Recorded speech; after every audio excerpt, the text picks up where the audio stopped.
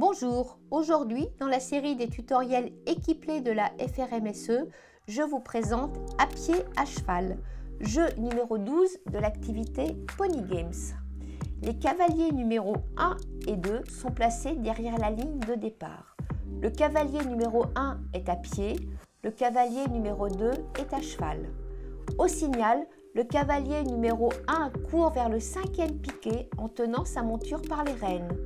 Il contourne le cinquième piquet avant de remonter et de venir franchir la ligne d'arrivée. Le cavalier numéro 2 s'élance vers la ligne de fond et descend avant que sa monture ait dépassé le cinquième piquet. Il passe la ligne d'arrivée à pied en tenant sa monture par les rênes.